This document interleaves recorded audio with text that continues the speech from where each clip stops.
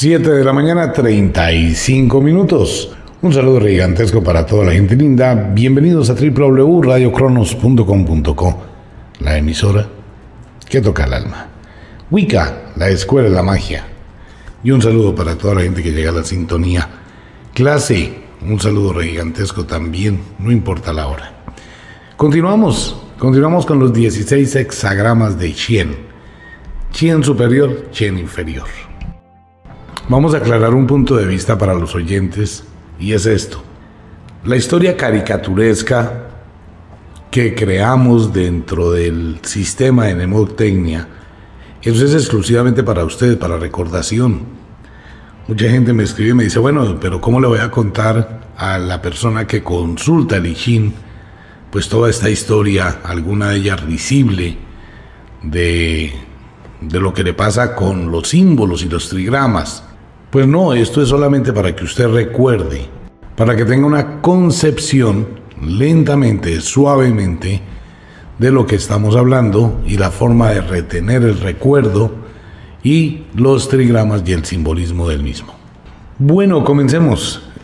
Ayer veíamos los otros ocho trigramas, los, ocho, los otros ocho hexagramas de Chien superior y cada uno de los partícipes. Está Kun, está Ken, Chen, Kan, Sun, Tui y Li, que están formando los hexagramas de Chen. Entonces, ¿qué pasa? Que tenemos que hacer una memorización, recordación del simbolismo de los dos. Pues hay un paralelismo dentro de este tema, entonces vamos a ir lentamente. Chen Chen es el primero. Chen Chen. Es el creador, es la escalera que va al cielo y no tiene absolutamente nada más. ¿Qué significa esta escalera? Esta escalera significa que avanzamos en el camino, que hay una creación, que hay una fuerza. Seguimos recargando en la interpretación de cada uno de los componentes de los trigramas, precisamente con el ánimo de tener una recordación mayor y de comprender cómo van a funcionar y cómo se van a interactuar. Entonces, amigo mío, quiero que volvamos un momentico a la primera parte de los trigramas. Ya tenemos 16 hexagramas, pero tenemos más hexagramas de todos los demás hijos e hijas. Un paréntesis. ¿Quién es lo creativo, la fuerza, el cielo, el papá? Las tres líneas yang, sean superior o inferior, estas tres líneas yang nos dice que Chien es todo lo que genera, todo lo que produce, todo lo que cambia, todo lo que influye y todo lo que descubre. ¿Por qué quiero recalcar este punto? Porque cada vez que damos un hexagrama, todos los hexagramas están compuestos de dos trigramas. Estos trigramas o bien son un hijo, bien son una hija, o bien es el papá, o bien es la mamá, como lo acabamos de ver, de ver con Chen. Si no tengo el significado de cada uno para hacer la combinación, pues simplemente pierdo el hilo. Entonces tengamos muy en claro, Chen es la energía creadora. Es todo lo que va a crear, todo lo que empuja, es el cielo. Es la energía que lo envuelve todo, es la fuerza descomunal de la vida. Por eso hemos colocado a Chien como una escalera que va del cielo, de la tierra, hacia el cielo. Luego tenemos a Kun. Kun es la madre. La madre es la receptora, es lo receptivo, es lo que genera la vida, es lo que gesta, lo que transforma lo que creó Chien. Es igual que una relación hombre-mujer. Trabaja el hombre, trabaja la mujer, los dos construyen, el hombre tiene una relación sexual y ¡prum! produce un embarazo y la mujer es la que genera y gesta la vida. Y la identificamos con las líneas yin, que son las líneas quebradas, tres líneas yin. Entonces cada vez que yo veo las tres líneas yin, ya sé que corresponde a kun, que es la tierra, que es lo que se entrega, que es lo que cuida, que es lo que protege, que es la fuerza que da la vida. Chen es la chispa que genera. Kun es la creación. Tenemos el primer hijo. ¿Quién es el primer hijo? El primer hijo es Chien. Esto es muy fácil de retener. Si los oyentes analizan un poquito, nos vamos a dar cuenta de la función de los hexagramas, de los trigramas, perdón, que tienen una relación total. ¿Quién es Chen? Chen es lo que despierta, lo que incita al movimiento, es el trueno, el rayo, es el primer hijo. ¿Cómo identificamos a Chen? Pues bueno, identificamos a Chen como una carita. Son dos líneas yin superiores, una línea yang. Bueno, una línea yang, dos líneas yin, que parece que fuera una carita que nos estuviese mirando cuando se está despertando. Esta carita nos dice que es lo que incita al movimiento, lo que se despierta, lo que inicia. Ah, ok. Kun es la mujer, la representamos con una mujer con medias, con rayitas. Tres rayitas que forman el trigrama de Kun. Y Chen es una línea yang, dos líneas yin que parecen ojitos. Entonces, Chen es aquello que activa, es lo que inicia el movimiento es lo que produce esa escala de reacción en cadena. Es lo que genera, podríamos llamarlo también, es el elemento de las decisiones que va a generar o va a construir un destino. Cada vez que vemos a Chen, la carita, por favor imagine una línea Yan, una línea Yin, otra línea Yin, que parecen dos ojitos y una boca. Entonces estoy recordando que es el que despierta, es el que mueve, es el que inicia el movimiento, es el que comienza a mover. Luego tenemos a Kan. Kan representa el abismo, el peligro, lo abismal, lo destructivo, lo agónico, es del elemento agua y es el segundo hijo. Mnemotécnicamente lo asociamos con los patines porque su símbolo nos presta o se presta para interpretarlo como un patín. El patín lleva una línea en el centro, a los lados tiene cuatro rueditas, dos rueditas adelante, dos rueditas atrás. Este es el símbolo o el trigrama de Kan. Una línea yan en la mitad, acompañada de dos líneas yin, una arriba, otra abajo, otra arriba, otra abajo, que parecen cuatro rueditas. Al ser un patín que es muy peligroso, lo asociamos con aquel que se cae en los patines, lo asociamos con el peligro, con la caída, con un abismo. Y cuando alguien está muy enfermo o alguien se cae en los patines y se golpeó muy duro, hay que darle agua. Entonces estoy teniendo una asociación de imágenes caricaturescas para recordar fácilmente los hexagramas, sin que estemos irrespetando la filosofía del Tao. Luego tenemos a Ken. Ken es el tercer hijo. El símbolo de Chen, que es la línea Yan y las dos lineecitas Yin, se nos presenta en Ken al revés. Una línea Yan y dos líneas Yin hacia abajo. O sea, como si le diéramos vuelta a la carita. La carita que despierta le damos vuelta y queda dos líneas Yin, una línea Yan. ¿A quién representa Ken? Pues quien representa la montaña, el reposo, la quietud, la calma, lo impávido, lo que está en equilibrio, representa la tranquilidad, la serenidad, la visión.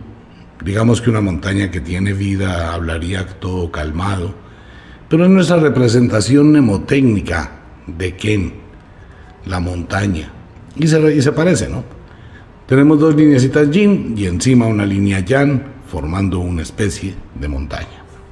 Luego tenemos las tres hijas. Recordemos, Sun es la cenicienta de la familia, es suave, dócil, amable, es tranquila, es colaboradora, es el viento, madera, es la que se mueve, la que hace, la que ejecuta las acciones de la casa, es esa, ese servicio total por eso la llamamos Sun. ¿Y cómo representamos el trigrama de Sun? Recordemos dos, una línea Yin, una línea Yang y otra línea Yang.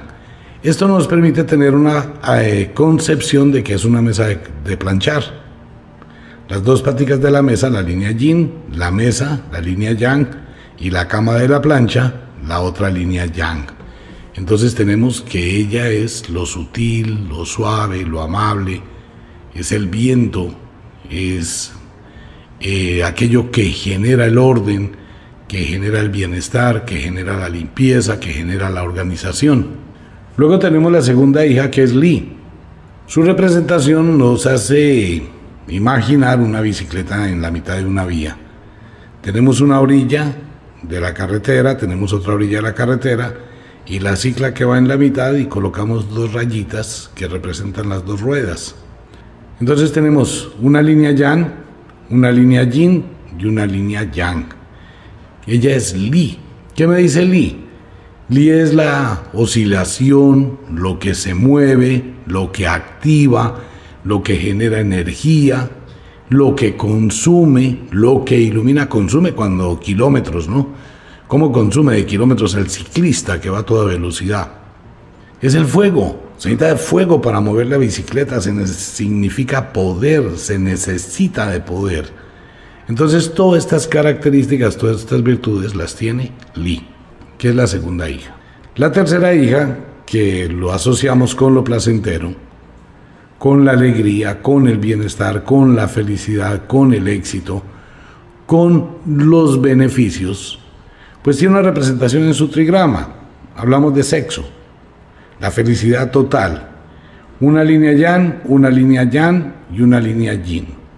Lo cual quiere decir que tenemos el colchón, tenemos la cama y tenemos los amantes encima. Es fácil de recordar. De esta forma, ¿qué pasa? que cuando vamos a hacer todas las posibles combinaciones, estas combinaciones, que en total serían 32, los inferiores superiores, para dar 64 hexagramas, todos son combinaciones de estos 8, 8 por 8, 64. O sea que se combina uno con otro, se integra uno con otro, se relaciona uno con otro. Y ahí están los 64 hexagramas. Ahora, ya tenemos una información primaria, quién es cada uno de ellos. Ahora viene la segunda información, cómo los combinamos. Pero es importante tener en cuenta lo siguiente, esto va para todo el mundo. La mutación viene de abajo hacia arriba. Los seis trazos que forman un hexagrama, el último, el de arriba, es el trazo número 6 y el primero, el de abajo, es el trazo número 1. O sea que tenemos trazo 1, trazo 2, trazo 3, trazo 4, trazo 5, trazo 6. Toda la mutación cambia ingresando por abajo. Si yo tengo un hexagrama, ese hexagrama, el inferior está empujando al superior. No como podríamos pensar tradicionalmente que el que está arriba oprime al que está abajo. No funciona en el I así funciona que uno está desplazando al otro. Es muy importante, clase, tener en cuenta lo siguiente. Si hablamos de Tui, lo placentero, la alegría, el lago y el estanque, implícitamente de qué estoy hablando. ¿Qué es lo contrario de lo placentero, lo alegre, el bienestar y aquello que produce excitación, estabilidad y frenesí? Correcto, amigo mío. Si tengo alegría, estoy dándole el pie para que llegue qué? La tristeza. Si tengo lo placer, tengo el hastío. Es muy importante que de hoy en adelante piense que cada uno de estos trigramas oculta un peligro que es lo contrario. Si tenemos a Li, que es lo que ilumina, es el fuego, es la luz, es lo que mueve, es el faro, también me está hablando de la oscuridad. Si tenemos a lo suave, lo dócil, el viento, lo amable, la cercanía, lo que arregla, lo que organiza, la suavidad. También estoy hablando de qué? De la ira, de la fuerza, del malestar, de lo agresivo. Recordemos que cada uno de estos trigramas tiene un yin y tiene un yang, tiene un lado de luz y un lado de oscuridad. Si tenemos a Ken, la montaña, pues sí vemos la montaña quieta, en reposo, en calma. Pero la montaña también trae consigo derrumbes, también trae consigo terremotos, también trae consigo la alteración, la destrucción. Por eso hay que tener mucho cuidado. Aparece un trigrama en el hexagrama. Sí, es lo que le dice en el presente de lo que está ocurriendo. Entonces tenemos que ver que la montaña también atrae una cantidad de elementos negativos, que atrae una cantidad de destrucción y que atrae una serie de situaciones terribles. Eso es lo que tenemos que ver, lo que está implícito, que no es visible a primera vista, pero se intuye que puede ser el peligro. Tenemos a Can, el abismo, el peligro, la caída, el agua. Pero Can, que es lo peligroso, también puede traer la amistad, la lealtad, la, la, la paz, la armonía, puede traer el bienestar. Entonces tenemos que ver lo contrario. Chen es el trueno, es lo que despierta, es lo que incita. Entonces también podemos ver a Chen, que es lo contrario, es lo que aquieta, es lo que duerme, es lo que anula, es lo que destruye. Si tenemos a Kun, que es lo receptivo, también es lo que aborta, también es lo que mata. La tierra también atrapa, la tierra también destruye. Si tenemos a Shen, que es lo creativo, también es lo destructivo. Entonces tenemos el Yang, que es la luz, y tenemos el Yin, que es la oscuridad de cada uno de los trigramas. Por ende, cuando yo leo un hexagrama, cuando concreto un hexagrama después de haber colocado las monedas, de haber sacado las líneas, de haber sacado el hexagrama entreverado, todavía nos falta identificar los trazos, pero eso va a ser casi a lo último qué significa cada uno de los trazos, porque cada trazo tiene un valor, pero es generalizado para todos los 64 hexagramas. Por eso primero aprendemos los hexagramas y por último miramos los trazos. Cuando yo estoy mirando el hexagrama que le está diciendo a usted que en este momento todo está en paz, como el hexagrama del Tai, Kun sobre Shen, la que está bailando golosa sobre la escalera, para que lo recuerde. ¿Se da cuenta que es más fácil recordar la golosa sobre la escalera que Chen, que Kun sobre Chen, porque la imaginación tiene más poder. Entonces, ¿qué pasa ahí? Que si yo estoy hablando de el Tai, de la paz, también tengo que decirle a la persona, tenga mucho cuidado porque puede venir la guerra. ¿En dónde colocamos esto? Esto lo colocamos en el concepto del ascenso y el descenso. Cuando yo estoy iniciando la primavera y llego a la primavera y comienzo a descender la primavera, quiere decir que va a llegar el verano. ¿Sí se da cuenta? Como no hay nada estático, porque no existe nada estático, sino esto es una mutación, quiere decir que el tiempo del cual debo tener la conciencia de un hexagrama es el tiempo presente. Pero debo mirar el futuro, porque no puedo ver el pasado en el I pero puedo ver el futuro si miro cuál es la posible mutación que va a llegar posteriormente. ¿Y cómo lo hago? Pues simplemente vuelvo a lanzar las monedas y miramos la mutación. ¿Se puede hacer algo del pasado? Sí, pero tanto el I como la magia sugieren dejar las puertas del pasado cerradas. De lo contrario, el presente se trastorna y el futuro se echa a perder. Eso es muy importante tenerlo en cuenta, clase. Entonces, ¿qué tenemos?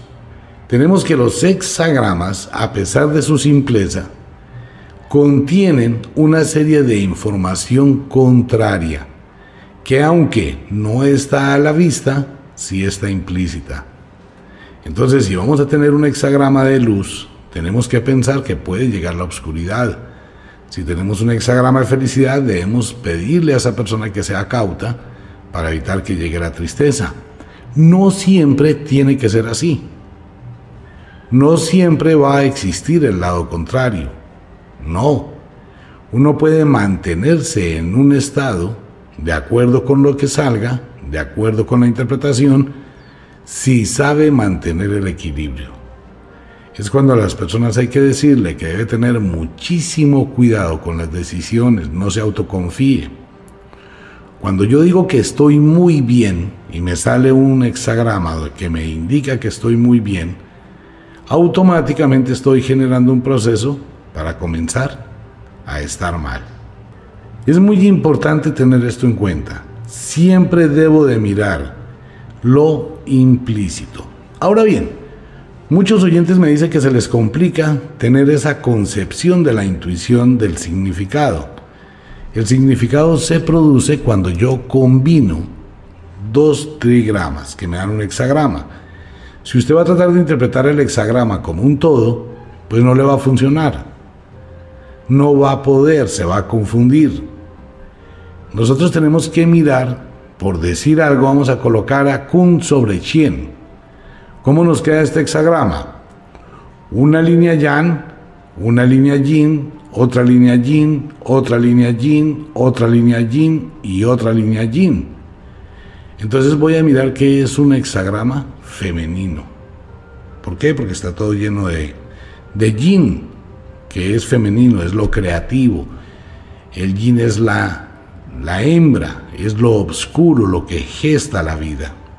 Entonces tengo que decir que se está gestando algo que está ocurriendo algo, que está sucediendo algo.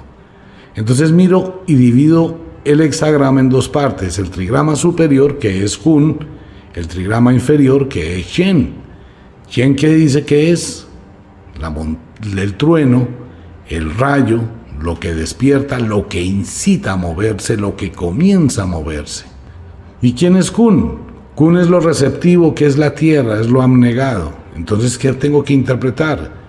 Que si Chen es el movimiento y Kun es lo que fertiliza y es lo que gesta, quiere decir que estoy gestando un nuevo cambio, que estoy gestando un nuevo movimiento, que estoy gestando una nueva oportunidad, que estoy generando un cambio. Ese es el significado del hexagrama, ese cambio. Pero tengo que tener conciencia de interpretación. Si yo no tengo la capacidad de poder tener los sinónimos, porque básicamente es eso, todos los probables sinónimos que yo pueda interactuar, ordenar en mi mente y aplicarlos al hexagrama, va a ser muy difícil que le dé una explicación. Una forma muy fácil de hacer esto es como si usted le hablara a un hijo, a una hija, a un nieto o a una nieta le estuviera dando un consejo. Mi hijita, no siga saliendo con ese señor, ese señor no se ve bien, ese señor se ve que es grosero, se ve que es antipático, no tiene amabilidad, se percibe que esa persona es descuidada, desordenada, porque no se peluquea, no se baña, huele a feo tiene la camisa sucia, tiene los zapatos rotos, no usa medias y mire los pies. Lo mismo. Como hacen muchas mamás con el hijo, mire mi hijito, esa niña es una mantenida, esa niña no le sirve para nada.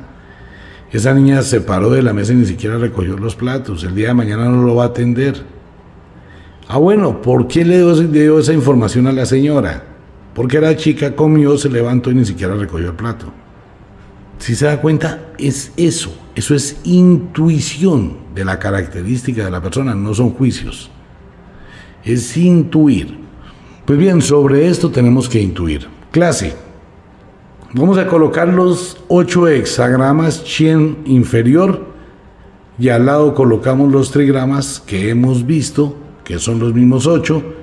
Quiero que por favor utilice la recordación de la simbología. Chien sobre Chien, la escalera. Kun sobre Chien, que está bailando golosa. Chien recostado sobre la montaña. Chien despertando. Ahí está. Chien y Ken. Chien montando en patines. Chien con Can. Tenemos que alguien le está planchando los calzoncillos a Chien, y Chien y Sun. Pero Chien inferior, ¿no? Chien es inferior abajo. Sun encima. Tenemos que Chien está montando en bicicleta. O sea que tenemos a Chien con Li. Y tenemos a Chien teniendo sexo, Chien con Tui. Ahí estamos. En los segundos hexagramas, Chien arriba y los demás abajo. Chien Kun, la escalera se le cae sobre la que estábamos jugando golosa. Asocie lo mismo, pero al revés. Chien sobre Kun, la escalera se cae sobre, correcto. Chien sobre Chien, el primer hijo, el despertar. Ok, está Chien despertando a, qué, a cuando se levanta de la montaña. Recuerde que va unido de la mano Chien y Ken.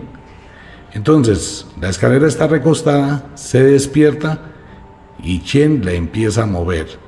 ¿Quién le da una patada por el trasero? ¿Quién? Le da una patada por el trasero y le dice, chao, adiós, retírese, váyase. Posteriormente, se sube en, la, en los patines, se cae y se quiebra una pierna. Entonces es Chien sobre Can, Chien superior, ¿no? Sobre Can. Luego, ¿qué tenemos? Tenemos el encuentro. Entonces vamos a ver que es un la que le plancha los calzoncillos, ellos dos se ponen a bailar, se abrazan y son felices. Digamos que es la gratitud que le dio porque le planchó los calzoncillos. Hay bienestar, hay encuentro. ¿Ok? Perfecto. Luego tenemos Chen sobre Li, la de la bicicleta. El faro que atrae a todo el mundo, la luz que brilla, la bicicleta que produce mucho poder, que produce muchísima luz. Y por último tenemos Chen sobre Tui. Lo mismo, están teniendo sexo o lo que usted quiera imaginar que pueda recordar. Aquí tenemos 16 hexagramas, pero realmente no hay 16. ¿Por qué? Porque ya tenemos a Li, Tui, Ken, Kan, Sun, Kun. Si se da cuenta, ya los estamos actuando. O sea que por cada uno tenemos dos. Tenemos los 16 de Chen, pero tenemos dos de cada uno de los hijos y de las hijas. Mañana vamos a ver uno completo del primer hijo y nos vamos a dar cuenta de esa interacción. Ok, por favor trate de recordar y si no vuelve a escuchar el programa, trate de recordar las asociaciones. Mañana tomamos los nombres de cada uno de esas representaciones de esos 16. Y vamos agregándoles, por ejemplo, cuando Chien va en la bicicleta es la nutrición porque lleva una lonchera. Cuando Chen baila con Sun en gratitud de que le planchó los calzoncillos, vamos al encuentro. También está la retirada. Entonces, eso lo vemos mañana de estos 16 hexagramas. Por favor, juegue con esas líneas, hágalo en un papelito, construyalos, tenga recordación de los trigramas, utilice la capacidad de la imaginación para recordar la historieta. Entre más eh, arabesca parezca y entre más cosas le coloque, más la va a recordar. Colóquele, recordemos que estos son los colgaderos de la mente. ¿Dónde vamos a colocar a Chien? En el cajón de abajo. Si bien son ocho cajones, vamos a utilizarlo uno para cada uno. El de abajo es Chien, el de más arribita es Chien el primer hijo, Kan el segundo hijo y Ken el tercer hijo. Entonces nos quedan cuatro cajones vacíos que después les voy a explicar para qué vamos a utilizar esos cuatro cajones. Igual en el otro lado. Básicamente es para colocar las niñas encima y los niños los colocamos encima de las niñas para tener toda la familia a los dos lados. Pero en la una gobiernan las mujeres y en el otro gobiernan los hombres. En el yin gobiernan las mujeres y en el yang gobiernan los hombres. Masculino, femenino. Entonces en el primer cajón, puede dividir el primer cajón en dos como si estuviera separando las medias de las tangas o de la ropa interior. Y aquí tenemos chien inferior y aquí tenemos chien superior. Y vamos mirando los simbolismos. ¿De acuerdo?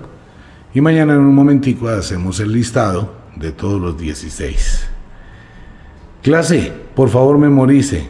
Ya nos queda muy poquito. Clase, esto ya se va a pasar muy rápido porque ya es lo demás usted ya tiene la concepción de cada un trigrama, ya es mirar los ocho uno por uno, uno por uno, son cosas de casi diez diecitas no más.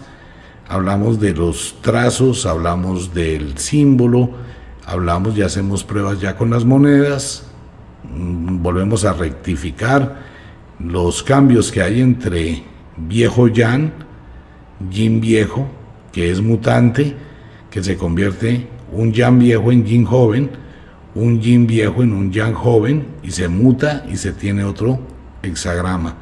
Y veremos otra vez ya en la práctica los hexagramas entreverados. Y amigo mío, a practicar, a lanzar monedas, a practicar, a recordar, de tal forma que para el 30 de diciembre usted ya tenga una habilidad total a nivel mental de conocerse todo el I. Mario, vámonos para el desayuno y saludes para toda la gente. Ya en la mitad de semana los invito a Wicca, la Escuela de la Magia, no se queden sin el ritual de el amor, las últimas brujitas, los gnomos, allá en nuestras sedes oficiales. Invitación para toda la gente a nuestras sedes de Wicca, la Escuela de la Magia. Solo un comentario pequeñitico, por favor no se deje confundir. Están enviando mensajes a WhatsApp. No es de nosotros. De algunas supuestas sedes, entre comillas, en Bogotá. Eh, no se deje confundir. Por favor, antes de que usted adquiera un producto que crea que es de nosotros, pero no lo es, confírmelo. Las sedes que nosotros tenemos, por favor, téngalo en claro. Nuestro local pequeñitico que está en el local 108 en el barrio Restrepo, dentro del centro comercial. Local 108, barrio Restrepo, centro comercial. Calle 45, la Casa de Fuego del barrio Santa Isabel y la calle 85. No más. Por favor, nosotros no pedimos ningún tipo de dinero por WhatsApp. En este momento tenemos un alto con las asesoras, hay un alto de asesoras precisamente para reorganizar mejor esto. Sí, porque muchas personas se han aprovechado y cuando se dieron cuenta que estábamos trabajando por WhatsApp, entonces muchísima gente empezó a hacer lo mismo para confundir a los oyentes. Eh, por este momento, por ahora, no hay servicio de asesoría. Más adelante volvemos a mirar cómo colocamos las cosas. Es muy difícil, de verdad hay gente muy pasada que quieren aprovecharse pues de todo esto y obtener ganancias estafando a la gente. Así que pilas a todo el mundo con eso. Solamente le sugiero, si usted, amigo mío, comete un error, llaman a, a pedir en Wicca que le resuelva el problema, nosotros no le podemos resolver el problema. Ah, es que a mí me mandaron un mensaje que era de parte de ustedes Señor, confirme si no son las páginas originales y oficiales de Wicca, por favor, antes de eso. De lo contrario, pues no tenemos cómo responder. Mario, vámonos para el desayuno. Clase, los invito a los programas de Radio Cronos durante todo el día. Por la noche nos volvemos a ver. Un abrazo gigante para todo el mundo. Nos volvemos a encontrar. Por favor, haga los trazos. Por favor, haga las líneas. Un abrazo enorme. Haga la tarea. Nos vemos. Chao.